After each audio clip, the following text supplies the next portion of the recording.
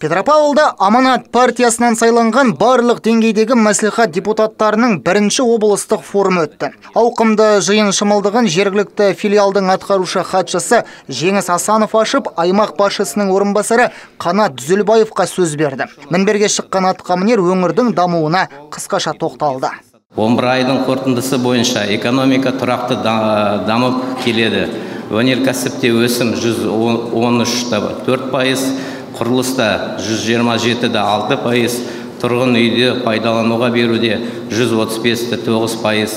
Инвестиция тартуда 122 3 пайызды құрады. Қанат дүзелбаев мұны бекерден бекер тілге тиек еткен жоқ. Өңір бірліктің арқасында алға жылжып келеді. Жалғыздың шаңы шықпайтынын ұғынған аманаттықтар да бұған сүбелі үлес қосуда.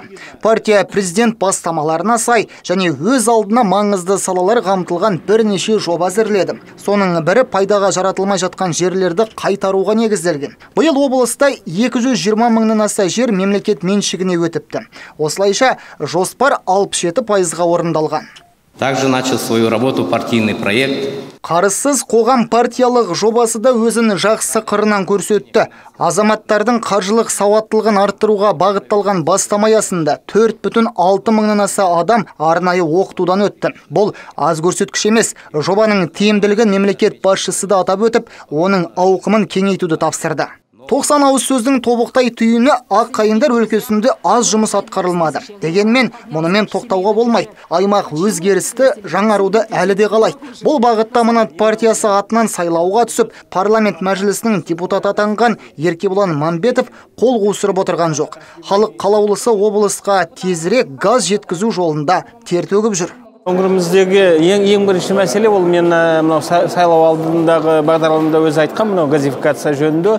Оны көктемде бір көтергем жауап алғанмын. Енді осы жылдың аяғына дейін осы екі бағытын біреуін таңдауға тиіс. Ол бір бірінші бағыты ол оңтүстік жақтан газ құбырын тартуға екінші осы мынау россия жақтан.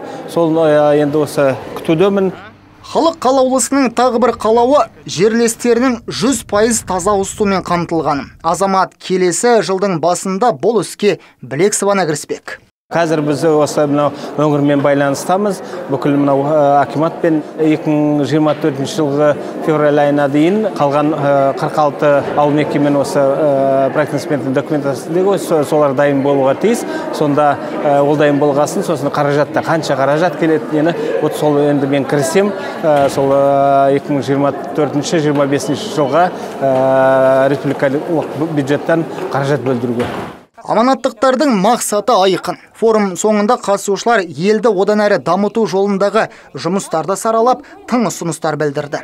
Байболат бектемірұлы александр янсен мтрк